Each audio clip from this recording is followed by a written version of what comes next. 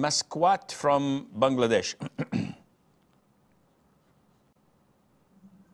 Assalamu alaikum wa rahmatullah. Wa alaikum assalam wa rahmatullahi wa barakatuh. Uh, my question is I had super glue on my hands. I left the super glue from my hand, but I did not know the super glue was still sticking to my uh, uh to some place on my hands. Uh, in such a situation, I have finished all the prayers from Zuhur to Isha. Is my prayer valid?